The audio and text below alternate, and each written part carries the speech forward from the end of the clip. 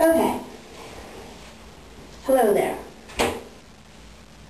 Okay, I bought a binder from T-Kingdom, and since when I was looking up about the different binders and trying to get more information on them, since the, the T-Kingdom website doesn't really have a very detailed pictures or anything, I was looking on YouTube and I found a few other videos where people were talking about binders and even um, demonstrating them to see what they look like and talking about good things and bad things about them. So I thought I would do the same thing here. Um, I ended up getting this model 690 in black and I got a size medium. Actually, according to the website's little sizing chart, I should have been a size small, but they for whatever reason, they only had this one available in medium and large. So I decided to get the medium one because I figured I usually like sports bras loose anyway uh, because it bothers me when it's too tight across the chest. So this is it. It, it got here really fast, like in less than a week. And let's see, another reason I bought this one is because it's like one of the cheapest ones and I figured I'd try out, see what it was like without wasting too much money.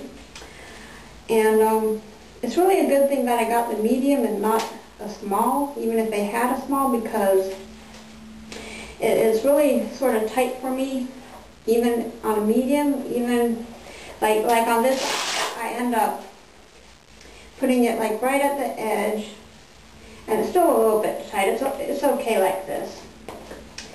Anyway, this is the binder. And like, like they say on the website, it's got sort of a soft, stretchy material in back. And the whole front part here, it's this thick, elastic stuff material. And uh, so, and you take it apart on the side, and it's got Velcro.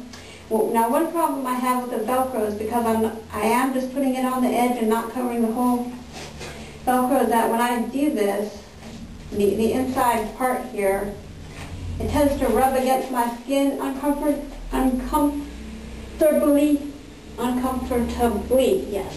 So, so I found that if I just turn it inside out instead, it, it's more comfortable. Um, okay, so anyway, this is what I look like without wearing it without wearing a bra at all. And this is one of my really thin, slinky shirts with no pockets or anything, so you can sort of tell. And I'm about a size B in bras. But like anyway, normally I would not wear this shirt in public, definitely not without a, at least a sports bra underneath because like, you can just see too much, too pointy, too, eh. So anyway, this is me. Turn the camera off and put it on and, and then do a comparison. okay. Okay, here I am again. This is with the binder on. And it does flatten things pretty nicely. Um,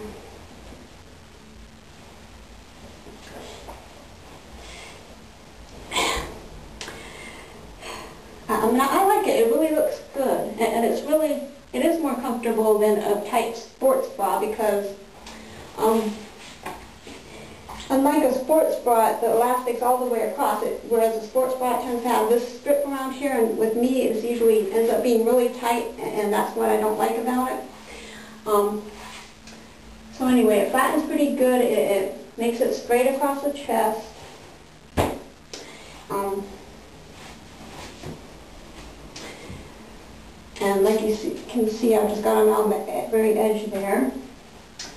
And that's on the outside because I've got it inside out. And another thing I wanted to mention is I haven't worn this like for very long. I've just been trying it on so far. But I'm not sure if I were to wear it all day because of this tight elastic stuff and it's just this one layer. It doesn't have any padding or anything. It's sort of rough, so I'm not sure if across my nipples wearing this all day, if, if that might be uncomfortable. I was thinking if so, I could like so a little layer of softer fabric underneath. But I'm not sure about that yet. Yeah, I'll find out. Um, let's see. That's all I can think of. Anyway, there's my little review. I hope it's helpful.